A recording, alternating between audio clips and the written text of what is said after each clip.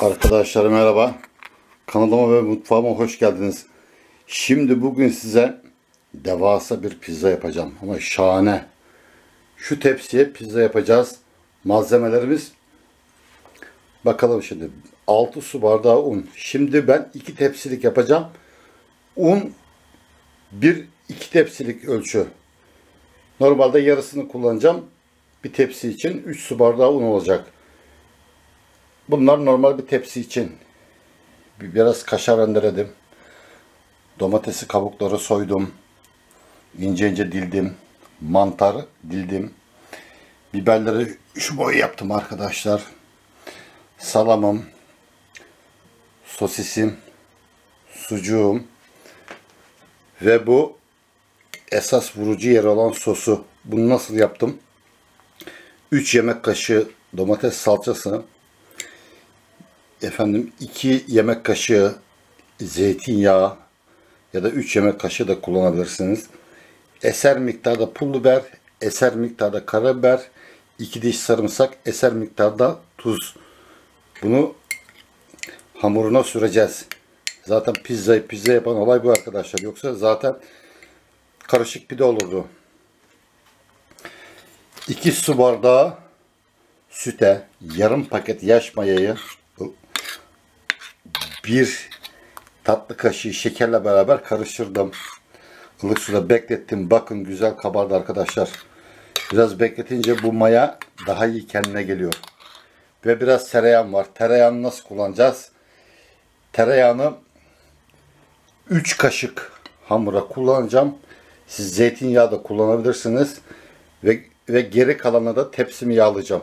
Şimdi yapımına başlayalım. Şimdi şöyle yapalım önce. Önce tepsiyi yağlayalım arkadaşlar. O iş aradan çıksın.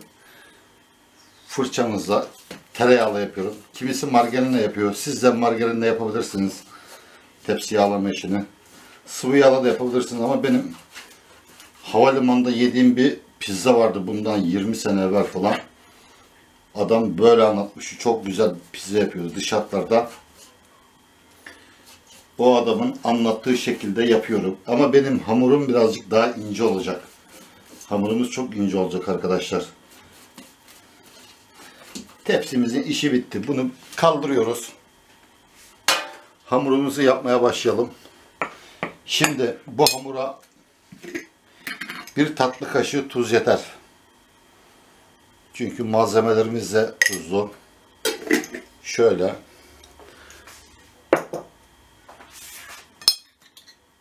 Şimdi hazırladığımız sütlü mayayı şöyle döküyoruz arkadaşlar.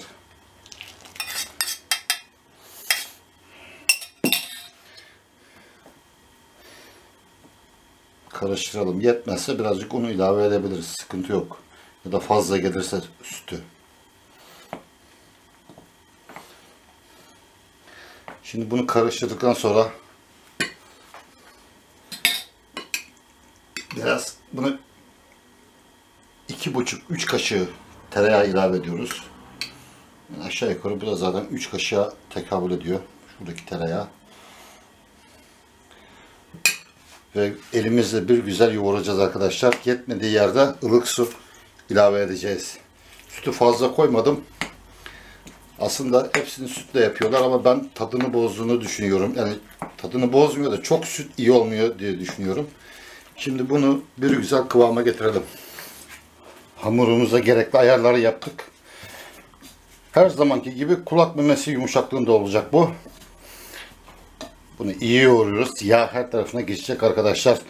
Hamur ne kadar iyi yoğrulur ve dinlenirse o kadar muhteşem olur. Bu bir altın kuraldır. Pürüzler kalmayana kadar yoğuruyoruz. Zaten bu kendini belli ediyor oldum diye. Kulak memesi yumuşaklığı. Şimdi bunu ben ne yapıyorum? Üstünü streç filmle kapatıp 20 dakika 30 dakika arası dinlenmeye bırakacağız. Hamurumuz kabardı. Şöyle bir açalım. Puf puf oldu. Şimdi bunun altına hiç un koymaya gerek yok. Çünkü içinde tereyağı var. Bakın yani yapışmıyor ele. Ne yapacağız? İkiye böleceğiz. Bana çünkü yarısı lazım. Şu şekilde. Geri kalanını öteki tepside kullanmak için ayırıyorum. Şimdi tepsimiz burada. Bunu bir merdana yardımıyla açacağız. Şöyle. Tepsiyi önce şöyle bir kenara koyayım. Meydan açılsın.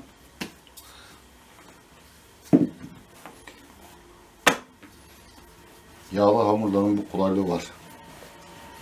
Geçen kıymalı macur böreği yaparken aklıma geldiydi. Orada söyledim. İtalyan pizzacıların yaptığı hamura benzer diye. Oradan aklıma düştü bu. Bakalım ne kadar güzel olacak.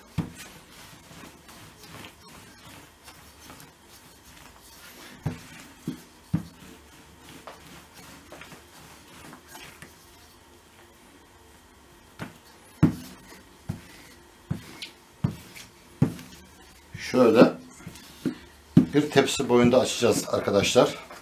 Fazlası önemli değil keseriz.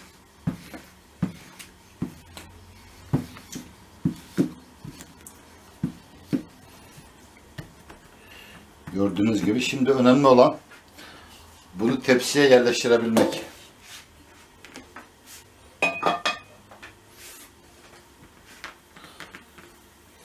Şöyle katlayalım. Yapışmayacaktır çünkü yağlı hamur arkadaşlar.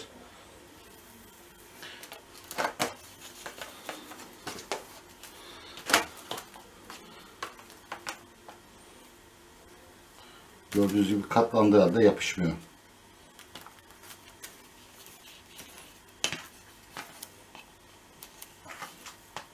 Şöyle. Delikler sorun değil arkadaşlar. Şöyle kenarlarına aynı pizzacıların yaptığı gibi yapabilirsiniz böyle. Şu şekilde delik olan yerlere şöyle tamir edebilirsiniz. ince bir şekilde.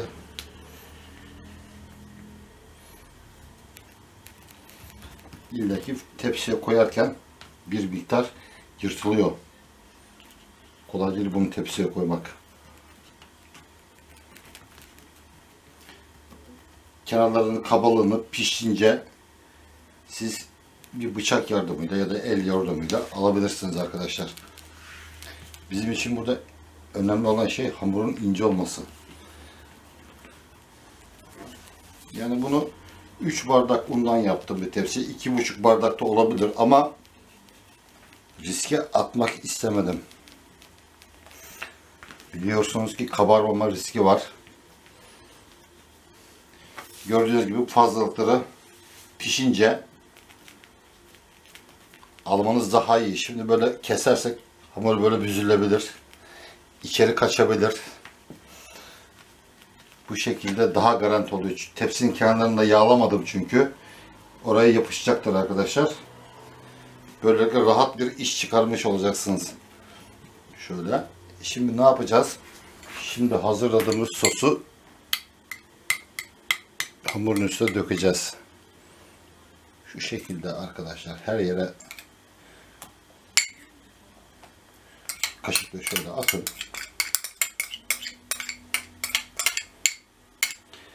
Bu sosun içindeki baharatlar tamamen sizin damak zevkinize göre ama anası bu yani. Sarımsak, zeytinyağı, karabiber, domates salçası. Bu miktarlar herkesin damak tadına göre değişebilir. Zaten pizzacılarda da bu miktarın oranını iyi tutturanların pizzası çok satılıyor. İşi bilen buradan kazanıyor. Hamur zaten herkes yapabilir. Bir yapamaz, iki yapamaz, üçüncüye becerebilir hamuru. Ama bu sosun kıvamı gerçekten çok önemli.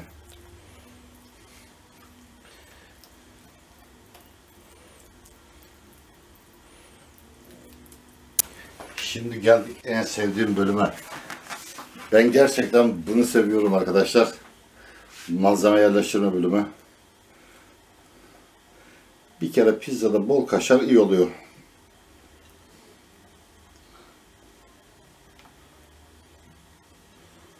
Şöyle kaşarımızı bolca serpiyoruz. Öteki tepsimi de birazcık sebze ağırlıklı yapacağım. Onu boğma yapıyorum daha çok. Daha bir et fazla yemiyor. Daha çok mantar, biber ve domates koyacağım ona arkadaşlar. Bu bir tepsi. Her yerini kapayacak biçimde kaşar atıyoruz. Şöyle. Tamam, bol kaşarlı olacak da aşırı da olmayacak. Yani her yer kapansın. Derdimiz o. Fazlalık yerlerden eksi yerlere takviye yapıyoruz.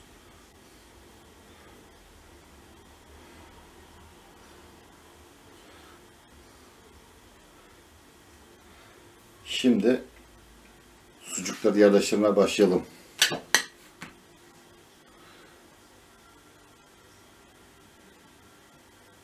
Sırayla bütün malzemeleri koyacağız.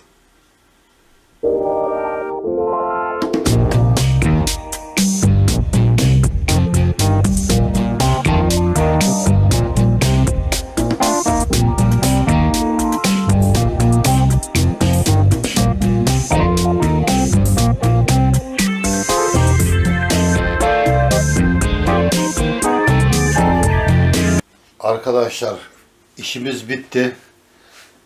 Fırına vermeden evvel son kontrolleri yapın. Malzemelerin her yere eşit biçimde dağıldığına emin olun. Şimdi bunu 180 derece önceden ısınmış fırının en alt gözüne koyuyoruz.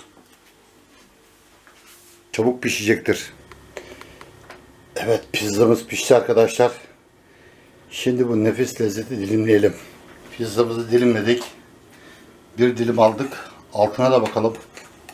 Altına sonmuş. Arkadaşlar inceliği görüyor musunuz? Altı da tam kıvamında pişmiş. Tam kıvamında. İzninizle bir adet atacağım.